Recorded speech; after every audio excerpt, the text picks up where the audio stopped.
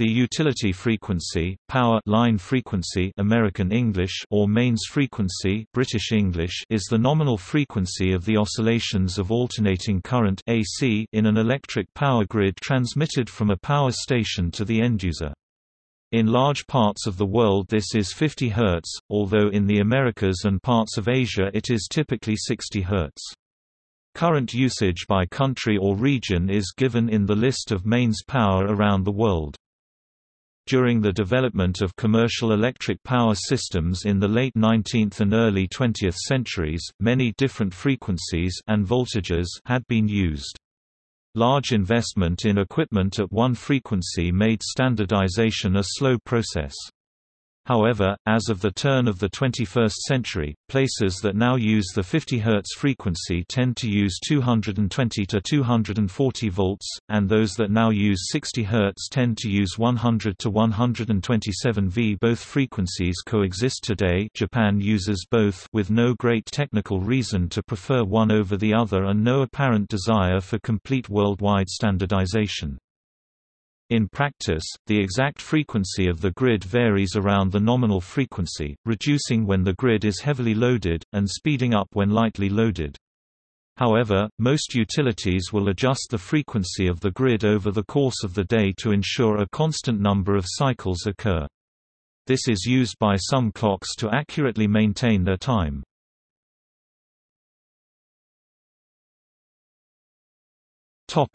Operating factors Several factors influence the choice of frequency in an AC system. Lighting, motors, transformers, generators and transmission lines all have characteristics which depend on the power frequency. All of these factors interact and make selection of a power frequency a matter of considerable importance. The best frequency is a compromise among contradictory requirements. In the late 19th century, designers would pick a relatively high frequency for systems featuring transformers and arc lights, so as to economize on transformer materials, but would pick a lower frequency for systems with long transmission lines or feeding primarily motor loads or rotary converters for producing direct current. When large central generating stations became practical, the choice of frequency was made based on the nature of the intended load. Eventually improvements in machine design allowed a single frequency to be used both for lighting and motor loads. A unified system improved the economics of electricity production, since system load was more uniform during the course of a day.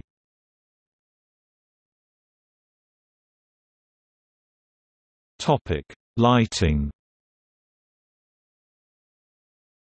The first applications of commercial electric power were incandescent lighting and commutator-type electric motors. Both devices operate well on DC, but DC could not be easily changed in voltage, and was generally only produced at the required utilization voltage. If an incandescent lamp is operated on a low-frequency current, the filament cools on each half cycle of the alternating current, leading to perceptible change in brightness and flicker of the lamps. The effect is more pronounced with arc lamps, and the later mercury vapor and fluorescent lamps. Open arc lamps made an audible buzz on alternating current, leading to experiments with high-frequency alternators to raise the sound above the range of human hearing.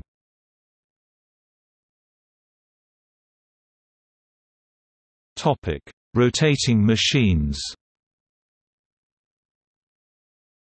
Commutator-type motors do not operate well on high-frequency AC, because the rapid changes of current are opposed by the inductance of the motor field.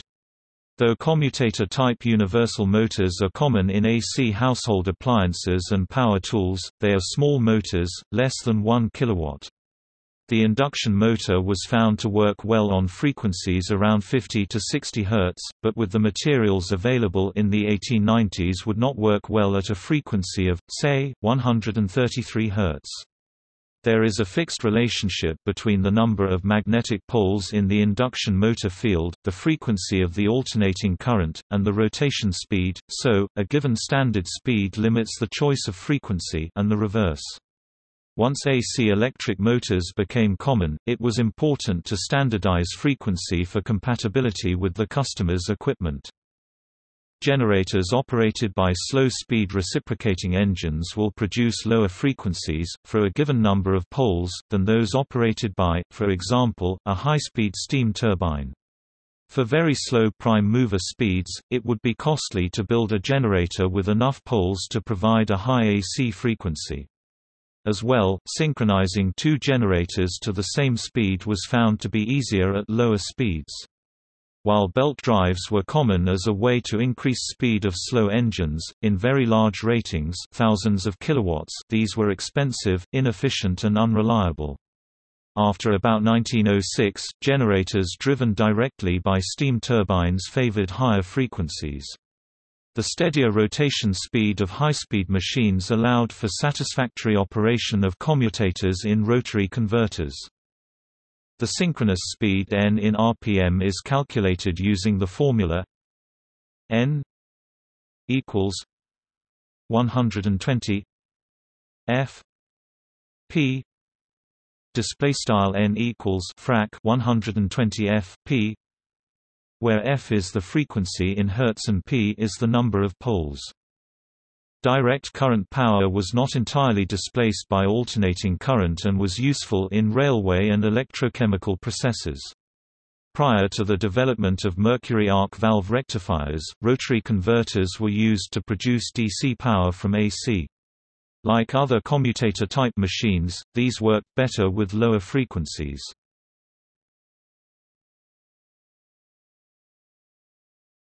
Topic: Transmission and transformers. With AC, transformers can be used to step down high transmission voltages to lower customer utilization voltage. The transformer is effectively a voltage conversion device with no moving parts and requiring little maintenance. The use of AC eliminated the need for spinning DC voltage conversion motor generators that require regular maintenance and monitoring. Since, for a given power level, the dimensions of a transformer are roughly inversely proportional to frequency, a system with many transformers would be more economical at a higher frequency. Electric power transmission over long lines favors lower frequencies. The effects of the distributed capacitance and inductance of the line are less at low frequency.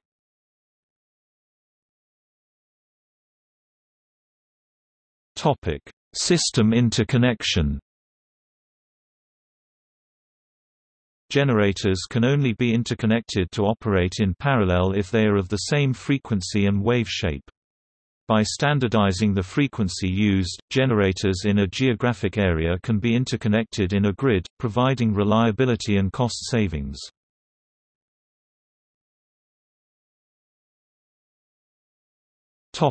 History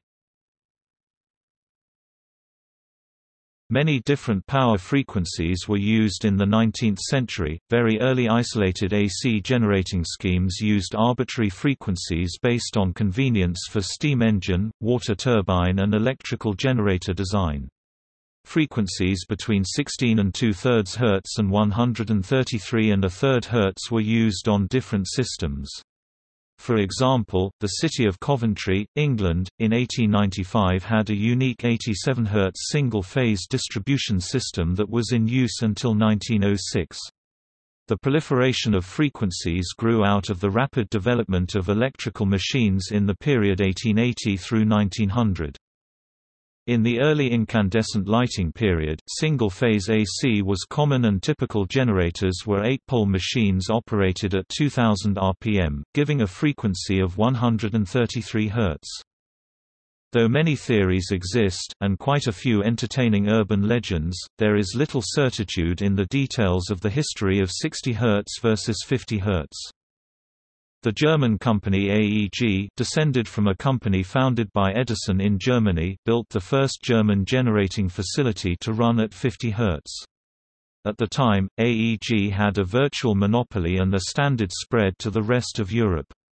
After observing flicker of lamps operated by the 40 Hz power transmitted by the Laufen-Frankfurt link in 1891, AEG raised the standard frequency to 50 Hz in 1891. Westinghouse Electric decided to standardize on a higher frequency to permit operation of both electric lighting and induction motors on the same generating system. Although 50 Hz was suitable for both, in 1890 Westinghouse considered that existing arc lighting equipment operated slightly better on 60 Hz, and so that frequency was chosen. The operation of Tesla's induction motor, licensed by Westinghouse in 1888, required a lower frequency than the 133 Hz common for lighting systems at that time. In 1893 General Electric Corporation, which was affiliated with AEG in Germany, built a generating project at Mill Creek to bring electricity to Redlands, California using 50 Hz, but changed to 60 Hz a year later to maintain market share with the Westinghouse standard.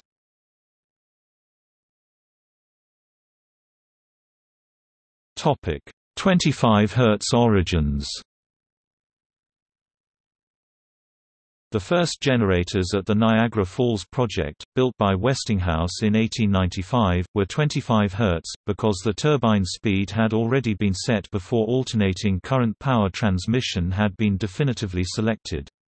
Westinghouse would have selected a low frequency of 30 Hz to drive motor loads, but the turbines for the project had already been specified at 250 rpm. The machines could have been made to deliver 16 and 2 thirds Hz power suitable for heavy commutator-type motors, but the Westinghouse company objected that this would be undesirable for lighting and suggested 33 and a third Hz. Eventually a compromise of 25 Hz, with 12-pole 250 rpm generators, was chosen. Because the Niagara project was so influential on electric power systems design, 25 Hz prevailed as the North American standard for low-frequency AC.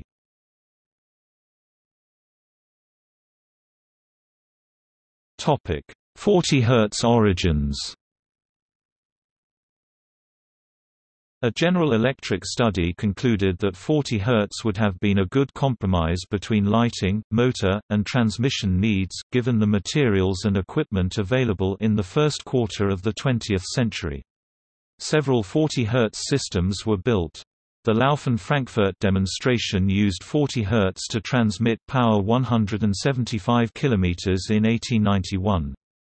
A large interconnected 40 Hz network existed in northeast England the Newcastle upon Tyne Electric Supply Company, NESCO until the advent of the National Grid UK in the late 1920s, and projects in Italy used 42 Hz. The oldest continuously operating commercial hydroelectric power station in the United States, Mechanicville Hydroelectric Plant, still produces electric power at 40 Hz and supplies power to the local 60 Hz transmission system through frequency changes. Industrial plants and mines in North America and Australia sometimes were built with 40 Hz electrical systems which were maintained until too uneconomic to continue.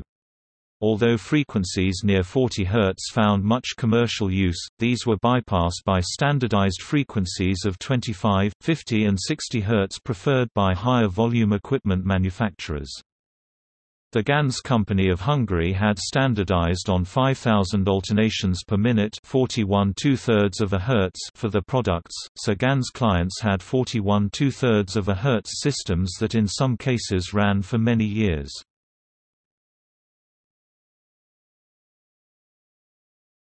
Topic: Standardization. In the early days of electrification, so many frequencies were used that no single value prevailed London in 1918 had 10 different frequencies. As the 20th century continued, more power was produced at 60 Hz North America or 50 Hz Europe and most of Asia. Standardization allowed international trade in electrical equipment. Much later, the use of standard frequencies allowed interconnection of power grids. It was not until after World War II, with the advent of affordable electrical consumer goods, that more uniform standards were enacted. In the United Kingdom, a standard frequency of 50 Hz was declared as early as 1904, but significant development continued at other frequencies. The implementation of the national grid starting in 1926 compelled the standardization of frequencies among the many interconnected electrical service providers. The 50 Hz standard was completely established only after World War II. By about 1900, European manufacturers had mostly standardized on 50 Hz for new installations. The German Verband der Elektrotechnik VDE, in the first standard for electrical machines and transformers in 1902, recommended 25 Hz and 50 Hz as standard frequencies. VDE did not see much application of 25 Hz, and dropped it from the 1914 edition of the standard. Remnant installations at other frequencies persisted until well after the Second World War. Because of the cost of conversion, some parts of the distribution system may continue to operate on original frequencies even after a new frequency is chosen. 25 Hz power was used in Ontario, Quebec, the northern United States, and for railway electrification. In the 1950s, many 25 Hz systems, from the generators right through to household appliances, were converted and standardized.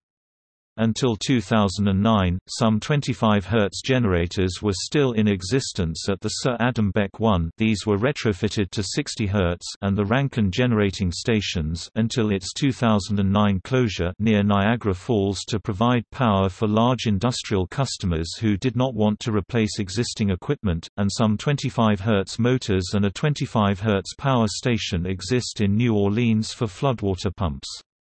The 15 kV AC rail networks, used in Germany, Austria, Switzerland, Sweden and Norway, still operate at 16 and 2 thirds Hz or 16.7 Hz.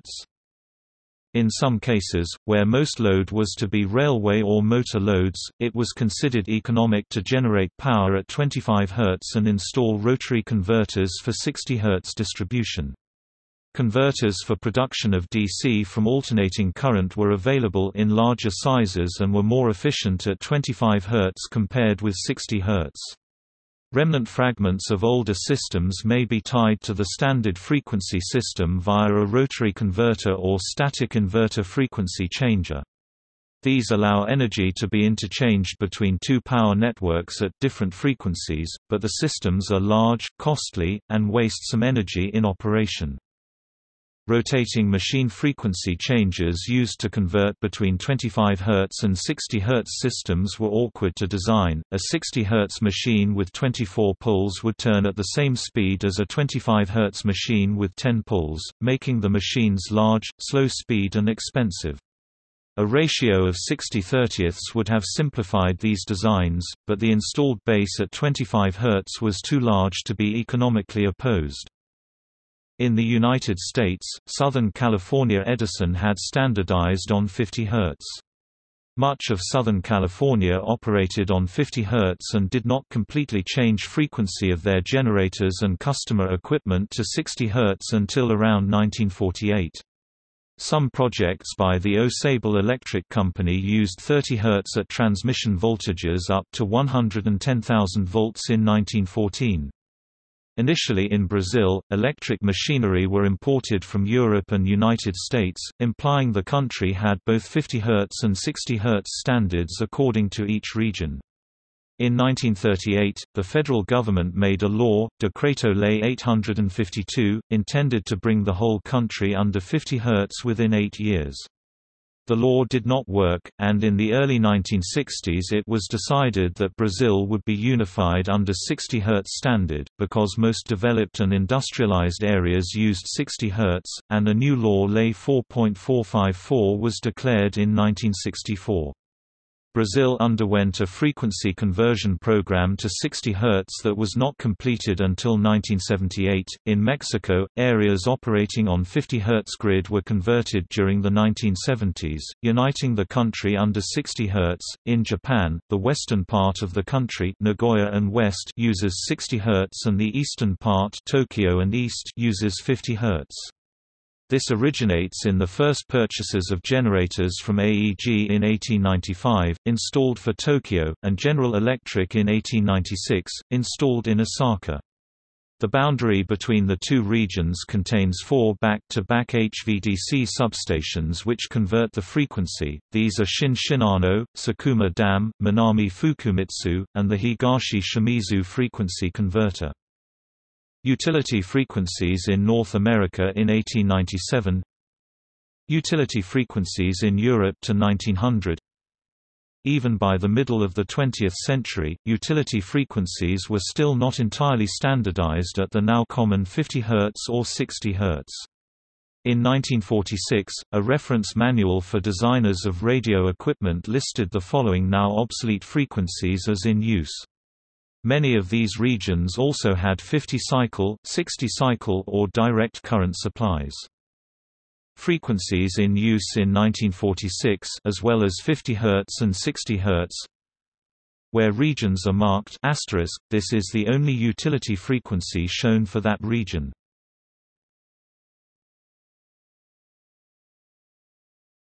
Topic: Railways Other power frequencies are still used. Germany, Austria, Switzerland, Sweden and Norway use traction power networks for railways, distributing single-phase AC at 16 and 2 thirds Hz or 16.7 Hz. A frequency of 25 Hz is used for the Austrian Mariazell Railway, as well as Amtrak and SEPTA's traction power systems in the United States. Other AC railway systems are energized at the local commercial power frequency, 50 Hz or 60 Hz. Traction power may be derived from commercial power supplies by frequency converters, or in some cases may be produced by dedicated traction power stations.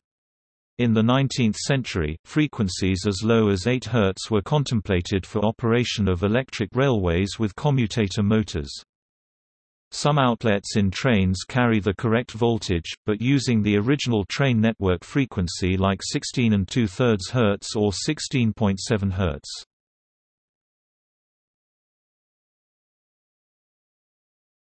Topic 400 Hz Power frequencies as high as 400 Hz are used in aircraft, spacecraft, submarines, server rooms for computer power, military equipment, and handheld machine tools. Such high frequencies cannot be economically transmitted long distances. The increased frequency greatly increases series impedance due to the inductance of transmission lines, making power transmission difficult. Consequently, 400 Hz power systems are usually confined to a building or vehicle. Transformers, for example, can be made smaller because the magnetic core can be much smaller for the same power level. Induction motors turn at a speed proportional to frequency, so a high-frequency power supply allows more power to be obtained for the same motor volume and mass. Transformers and motors for 400 Hz are much smaller and lighter than at 50 or 60 Hz, which is an advantage in aircraft and ships. A United States military standard MIL STD 704 exists for aircraft use of 400 Hz power.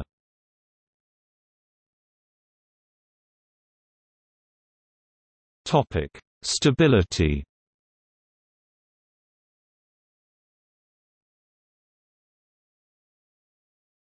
Topic: Time error correction tech.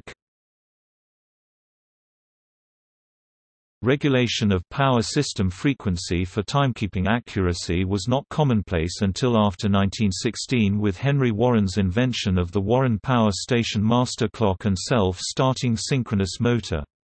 Tesla demonstrated the concept of clocks synchronized by line frequency at the 1893 Chicago World's Fair.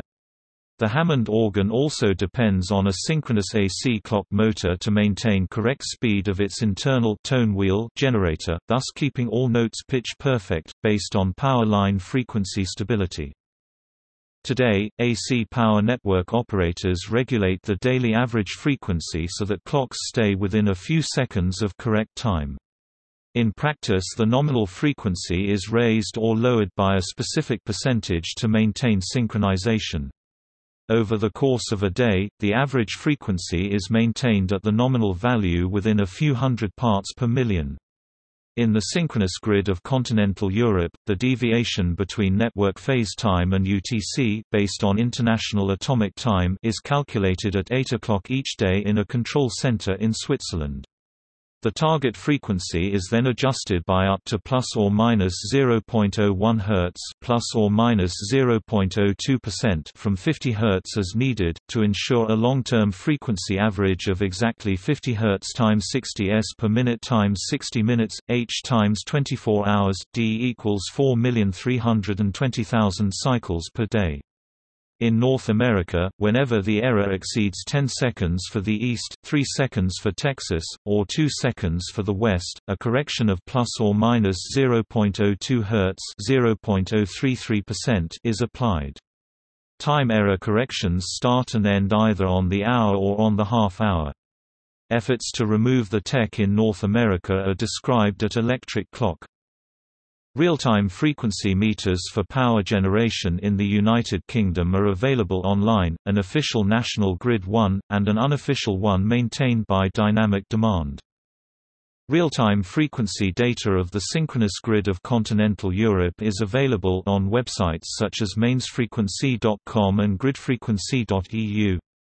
The Frequency Monitoring Network at the University of Tennessee measures the frequency of the interconnections within the North American power grid, as well as in several other parts of the world. These measurements are displayed on the FNET website.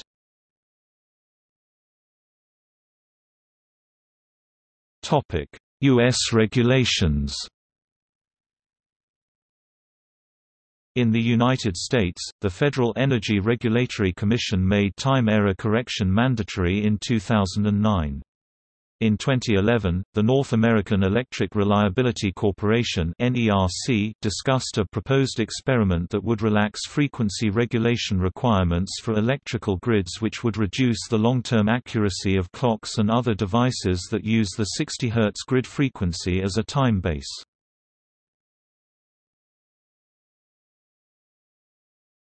Topic: Frequency and load. The primary reason for accurate frequency control is to allow the flow of alternating current power from multiple generators through the network to be controlled. The trend in system frequency is a measure of mismatch between demand and generation, and is a necessary parameter for load control in interconnected systems. Frequency of the system will vary as load and generation change. Increasing the mechanical input power to any individual synchronous generator will not greatly affect the overall system frequency, but will produce more electric power from that unit. During a severe overload caused by tripping or failure of generators or transmission lines the power system frequency will decline, due to an imbalance of load versus generation.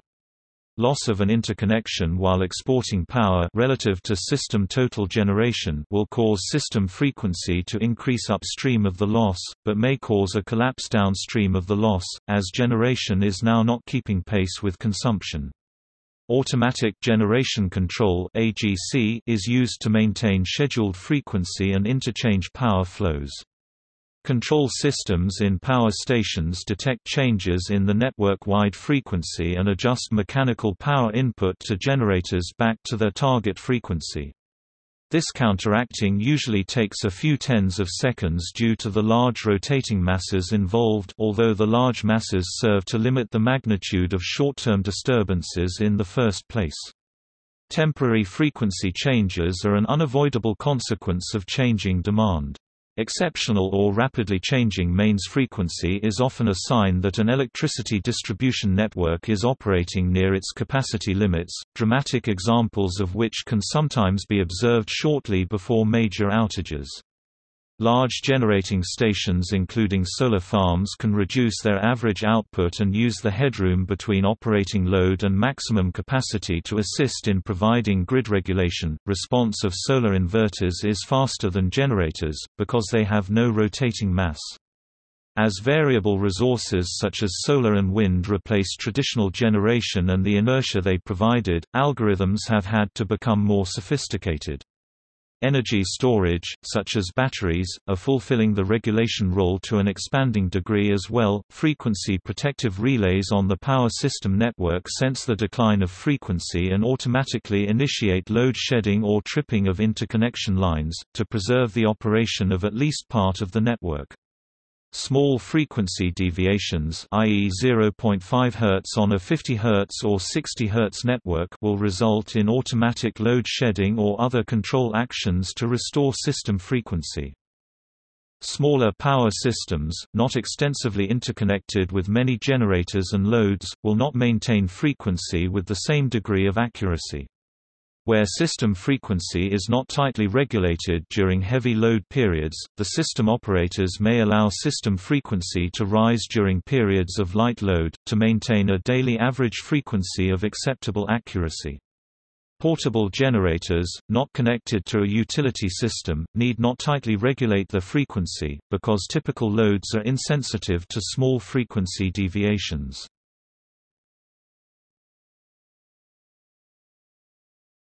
Topic: Load frequency control. Load frequency control (LFC) is a type of integral control that restores the system frequency and power flows to adjacent areas back to their values before a change in load. The power transfer between different areas of a system is known as net tie line power. The general control algorithm for LFC was developed by Nathan Cohn in 1971. The algorithm involves defining the term, area control error, ACE, which is the sum of the net tie line power error and the product of the frequency error with a frequency bias constant. When the area control error is reduced to zero, the control algorithm has returned the frequency and tie line power errors to zero.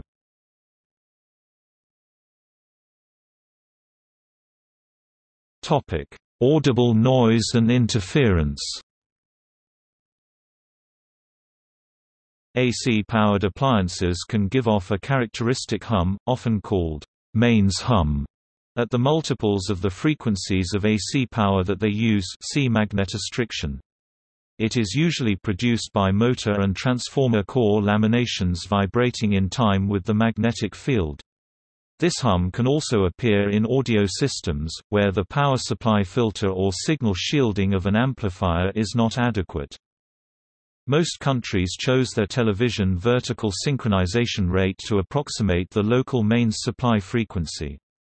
This helped to prevent power line hum and magnetic interference from causing visible beat frequencies in the displayed picture of analog receivers. Another use of this side effect has resulted in its use as a forensic tool. When a recording is made that captures audio near an AC appliance or socket, the hum is also incidentally recorded. The peaks of the hum repeat every AC cycle every 20 milliseconds for 50 Hz AC, or every 16.67 milliseconds for 60 Hz AC. Any edit of the audio that is not a multiplication of the time between the peaks will distort the regularity, introducing a phase shift. A continuous wavelet transform analysis will show discontinuities that may tell if the audio has been cut.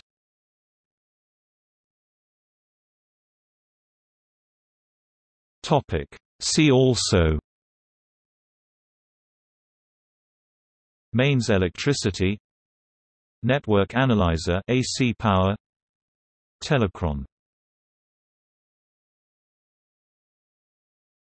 Topic. Further reading Furfari, F.A., The Evolution of Power Line Frequencies 133 and a third to 25 Hz, Industry Applications Magazine, IEEE, September, October 2000 Volume 6, Issue 5, pages 12–14, ISSN 1077–2618 Rushmore, D.B., Frequency, AIEE Transactions, Volume 31, 1912, pages 955–983, and discussion on pages 974–978. Blalock, Thomas J.